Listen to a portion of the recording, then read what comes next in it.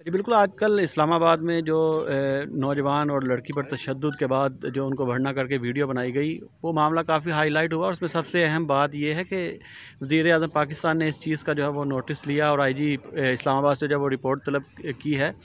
तमाम इसमें सबसे ज़रूरी है कि अब इस केस को किस तरह से लेकर जो है वो चला जाता है, मुलजमान को कैपरे किरदार तक पहुँचाया जाता है या नहीं पहुँचाया जाता,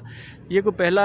वाक़ नहीं है। इससे कबल भी कई ऐसे वाक़ात जो हैं वो रूनुमा हो चुके हैं, लेकिन उसमें जो मुलजमान हैं वो बासर होते हैं, जिनकी पुछताछी पुलिस और सियासी लोग जो हैं वो करते हैं, जिसके बाद उनको काफ़ी रिलीफ जो है वो मिल जाता है। इस केस में भी अब देखना है कि पुलिस और जो हमारा निज़ाम है, इंसाफ का वो किस हद तक जो मुतासरीन हैं उनको इंसाफ फ्राहम करते हैं। वज़ी अजम ने तो नोटिस लिया और इससे कबल भी कई केसेस में उन्होंने नोटिस लिया, लेकिन जो मुतासरीन हैं, उनको इंसाफ नहीं मिल सका। इस वाक़े में आप देखते हैं कि पुलिस इस केस को किस तरह से वाकई इसको टेस्ट के तौर पर जो है वो लेती है और इसको आगे लेकर चलती है और बुलदिमान को कैफरे किरदार तक पहुँचाती है और जो मुतासरीन हैं, उनको इंसाफ मिलता है या नहीं। जो इससे पहले वाक़ात हुए हैं, उनको भी इस केस में जो है वो बेनकाब करना चाहिए। मुलजमान को जो है वो सख्त से सख्त सज़ा जो है वो दी जाए, ताकि आने वाले वक्त में ऐसे वाक़ रोका जा सके।